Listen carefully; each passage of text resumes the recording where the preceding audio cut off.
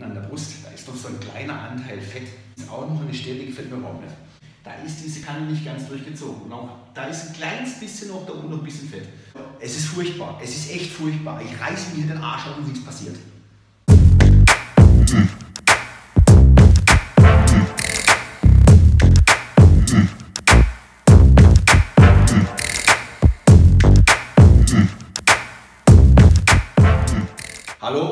Willkommen, liebe Freunde, bei Andreas Triebbacher, Personal aus Karlsruhe. Ich habe euch hier schon mal was vorbereitet. Könnt ihr das sehen? Ich habe hier einen großen Kuchen aufgemalt. Und jetzt haben wir hier, schau mal, hier haben wir ein kleines Dreieck. Das sind die 5%, also 5% von 100. Es sind 95% noch übrig. Und diese 5% sorgen für maximalen Frust. Unglaublich, oder? Wir können 5% für maximalen Frust sorgen. Es geht dabei, was geht's? Ihr habt es vielleicht schon erraten, um was es geht. Es geht darum, dass wir ganz oft die Weltmeister sind im Kritisieren.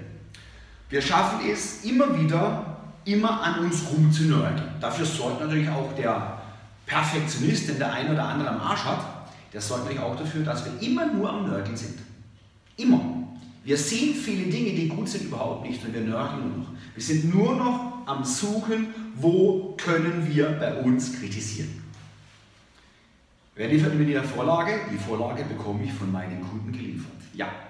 Und zwar, da stellt sich raus, die kommen manchmal irgendwann nach 10, 15, 20 Jahren keinen Sport, keine Beachtung des Essens. Da wurde wild gefeiert, da wurde wild gegessen, quer durch die Garten. Und was kommt dabei raus? Auch kein Sport betrieben. Klar, die Waage sagt auf dem Display an, dass es nicht mehr schön ist. Der Spiegel ist auch nicht unbedingt unser Freund. Wir sind gefrustet und fangen an, Sport zu betreiben. Wir stellen um, strukturiert, zwei bis dreimal in der Woche Sport. Wir stellen die Ernährung um, drei Mahlzeiten am Tag, gesunde Mahlzeiten, Bio sogar noch. Dann achten wir darauf, dass wir kein Fastfood mehr essen, wenig Alkohol trinken, wenig Süßigkeiten, dass wir uns zu Hause gesund versorgen mit gesunder Kost. So, dann, der Kunde kommt zu mir nach acht bis zehn Wochen nach der Umstellung, jawohl, vier, fünf Kilo unten, alles klar, der Kunde freut sich. Acht Wochen später nochmal drei, vier Kilo unten, der Kunde freut sich immer noch. Umso länger die Leute am Ball sind, umso besser sie eigentlich sind, umso besser der Fitnesszustand wird, umso schöner die Optik, umso optimaler das Gewichtsverhältnis zwischen Wasser, Muskelmasse und Fettmasse, umso kritischer werden wir. Ja, es ist tatsächlich so. Da steht man dann irgendwann vorm Spiegel und fängt an, da ist noch was, da ist noch, da ist noch. Man sucht nur noch die Punkte, die schlecht sind, die angeblich schlecht sind, die angeblich nicht so aussehen, wie wir uns das wünschen. Und was gibt das Ganze? Was, zu was führt das Ganze? Das Ganze führt dazu, dass wir ganz viel Stress produzieren. Unser ehemalig geliebter Sport, unser ehemalig geliebter Fitness-Lifestyle, der mutiert langsam, aber sicher zu einer Zwangshandlung.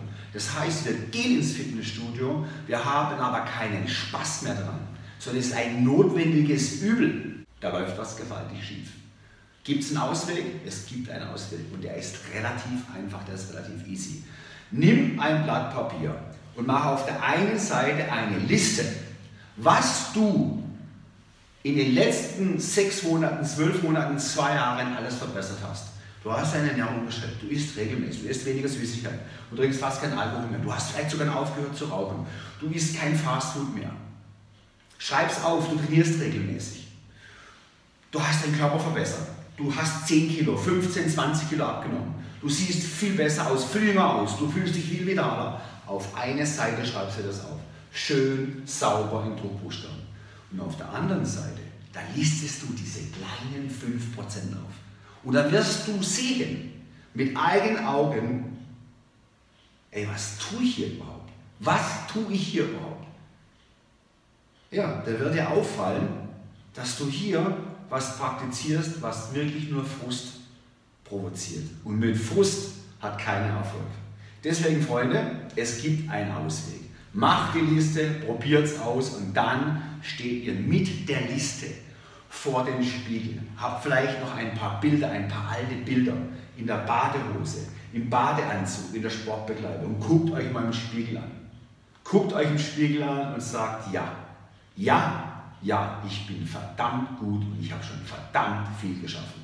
Genau das ist einfach. Liebe Freunde, ich wünsche euch viel Spaß dabei.